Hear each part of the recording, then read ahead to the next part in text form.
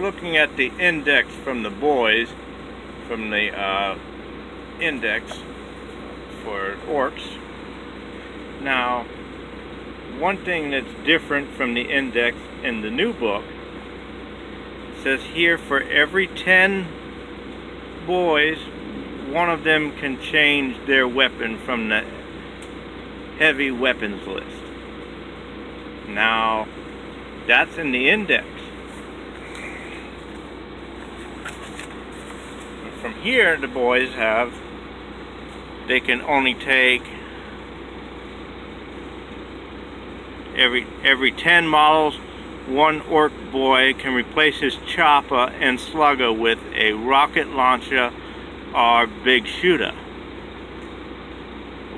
Why did they change it from the heavy weapon list? It means you can't take a uh, a burner, and that would be considered a heavy weapon. That would make sense, but it's not in the uh, new rule book. That's all I wanted to point out. I like the new rules. I like how how it looks and everything. That's the new Ork Codex for Warhammer 40k. But that's the only rule that I saw that was different from the index. But however, I did talk to somebody and they said the index Xenos 2, if you still have it, still applies to 8th edition. So um, I guess you can have one of the Ork boys carry a burner.